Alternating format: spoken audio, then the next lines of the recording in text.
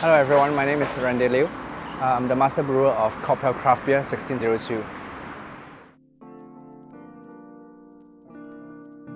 We actually conceptualized the brands four years ago.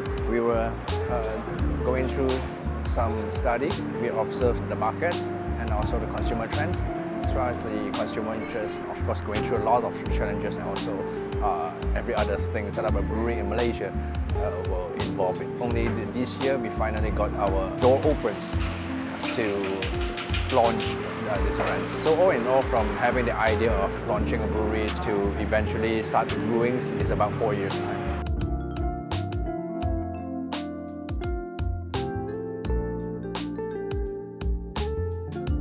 The process of brewing craft beers basically has no big difference comparing to brewing a large-scale commercial beers. In fact, we actually running a few process less comparing to the uh, large-scale commercial beers. What we did not do is pasteurization and also the filtrations. We're trying to stick close to how beers are brewed and from being brewed to being served which is without pasteurization, without filtration. So everything that we use to brew in the beers will remain in the glass to the very ends that when a consumer having the first sip.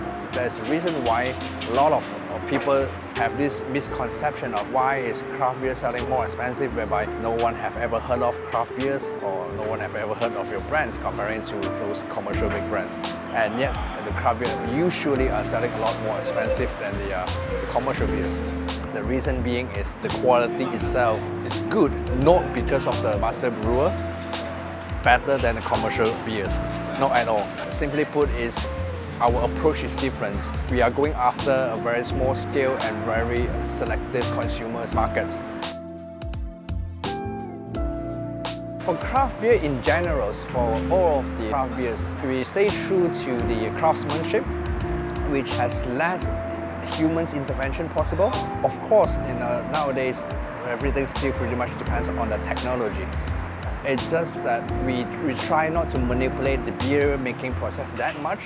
We put in our hard work in terms of writing recipe, selecting ingredients and all that. End of the days, we have these sayings in our brewing world. We as the brewer, we don't really make beer.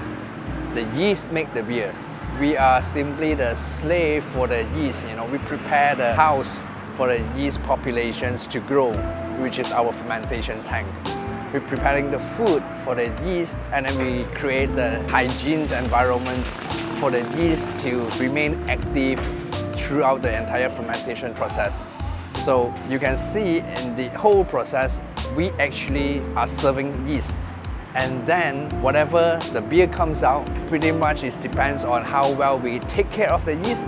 Then hopefully the yeast will take care of us producing good beer and the consumer will having a good beer to drink.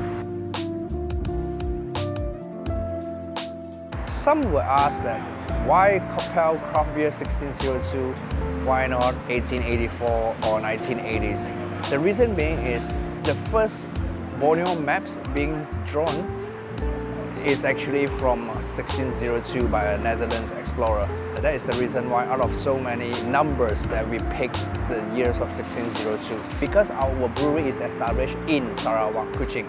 So we pick something that is identical and also represent where we are from and who we are. Therefore, we choose the number of 1602. We strive to have a few identical beer style, which is each one of the style would not be close to each others. As a start, we have a lagers, a pale ale, which is very easy to drink, very casual, and we have a dark beer. It tastes a little bit like coffee, chocolate notes. We do not use any coffee or any chocolate, yet it developed that taste simply by selecting different kind of malts. And last, we have wheat beer, very typical German style of wheat beer. In fact, we did not make much uh, modifications. It's because the beer style itself, in my opinions, suit Asian palates quite well. It's very fruity, a little bit sweetness. I hope people know more about craft beers. We are not arrogant enough to say that we are the best. We definitely are not there yet to claim that everyone would like our beer or should like our beer. But what we're trying to do is simply introducing craft beers to a very young market. Me myself as a Malaysian uh, has been in the brewing industry for more than 20 years. So it's more like my personal agendas to make Malaysian proud in this craft brewing world. Thank you.